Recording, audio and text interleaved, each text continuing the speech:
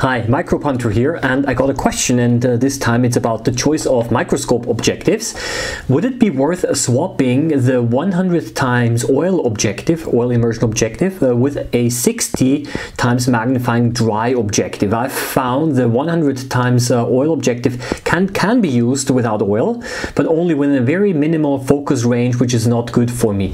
Thank you for the question, um, and uh, I will give you my honest opinion later. The how would I say the politically correct answer would be whether you should change your 100x oil objective with a 60 times non-oil objective really depends on which one you're going to be using more often. If you're using the 60 times uh, dry objective more, then of course um, I would change. Uh, that is the correct answer. or another thing would be depends on what you want to look at. Um, however However, this is not a very helpful answer, so I will tell you my personal opinion and then you can make of my opinion whatever you want. I myself have removed the 100 times oil objective and I have replaced it with a 60 times dry objective on this very microscope here. Um, here, if you don't believe me, of course you do believe me, but uh, that is my 100 times magnifying um, oil objective, which I think I have used only two times. I tried it out a few times, but that was it. Um, it was actually more of a headache for me than the, the disadvantages were, were outweigh the advantages. And the reason is, is the following that I did not need the magnification first of all.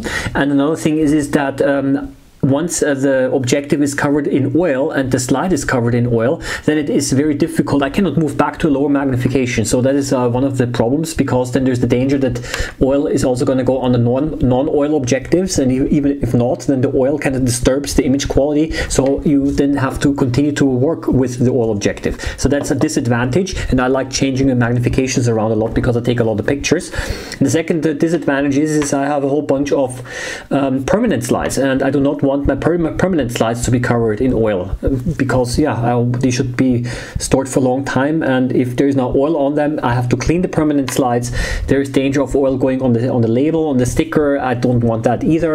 Um, so in summary um, the oil immersion objective um, for me at least was more of a disadvantage than of an advantage and ever since I have a 60 times dry objective. I'm using this uh, quite frequently and, and quite often. So for me, for the way that I use my microscopes, it was definitely a big advantage, okay?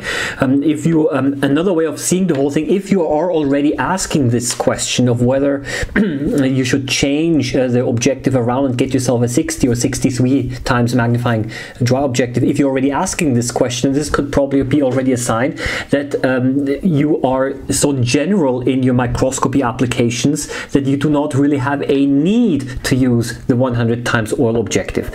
Um, so unless you want to specifically observe, let's say, bacteria which have been heat fixed on a slide or so on, um, then unless you want to do that, you don't really, in many cases, don't need an oil immersion objective. I know that the, the term need is a little bit um, not uh, the right term to use, maybe in, in the case of a hobby, because who needs it anyway? I mean, we're doing this for fun most of the time anyway, but if your um, observation interests are so general that you are not required to use an oil immersion objective, then I think uh, simply by asking this question, I think that's already an indicator that you would probably be very satisfied with the 60 times or 63 times um, dry objective. Now, um, the thing in my case, it was like this, that uh, I cannot fit it on here because uh, my the, the, nose piece does not only accept uh, five um, um uh, objectives, um, so there is not enough space. And uh, for me, the 40 times magnifying objective for some samples indeed was not uh, large enough, uh, magnifying large enough, okay? So this is the reason why I decided ultimately um, to upgrade and add uh, the 60 times um, our objective as well. So this is simply something I wanted to mention. Another thing that I also want to kind of uh, inform you, um, generally if your microscope has a 160 millimeter DIN standard, you know it if there's the, uh, the number 160 printed on the objective, um, it is like this then other 160 millimeter objectives will fit physically, okay? This should not be a problem, but be aware that um, you uh, they might not be parfocal. So this means that you might have to refocus a little bit, okay? So that is the uh, the issue.